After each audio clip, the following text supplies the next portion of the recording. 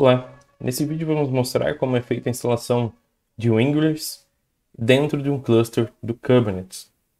O Ingress do Kubernetes permite o roteamento de tráfego externo ao cluster de maneira flexível para que os serviços dentro do seu cluster de Kubernetes fiquem acessíveis externamente. Vamos utilizar hoje o Nginx, que é um dos controladores de Ingress mais utilizados é, no mercado. Para isso, a gente já tem alguns serviços também rodando dentro do nosso cluster de Kubernetes.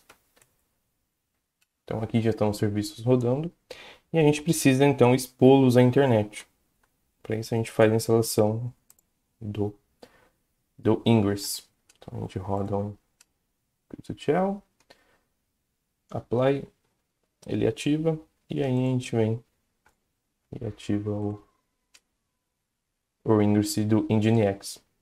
Após isso, ele vai dar a mensagem de Ingress create e a gente pode listar eles também dentro do nosso cluster. Pronto, o nosso Ingress está estivado e aí você já consegue criar as regras de apontamento de domínio para dentro do teu cluster.